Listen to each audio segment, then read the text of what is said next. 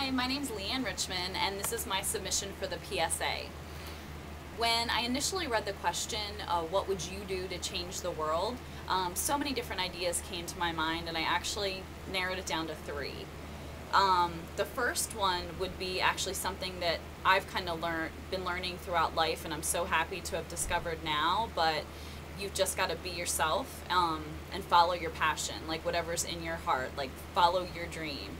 I know it sounds like cheesy and cliche, but I think so many people try to live in someone else's shadow or be something they're not, and um, it destroys them a little bit. Like, so if you pursued what you wanted to with your full heart and soul, whatever your dream is, loved with all your heart, and worked as hard as you can at something, um, that will bring you true happiness, I believe. So I think if everyone across America or the world could do that, um, it'd be just such a beautiful thing.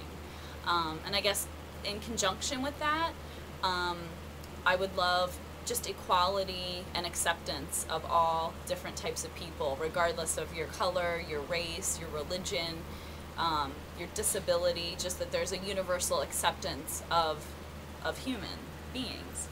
Um, and the last one, uh, just on a more, I guess, political or functionality level, um, I believe that everyone deserves the right to like food, clean drinking water, shelter, um, and health care.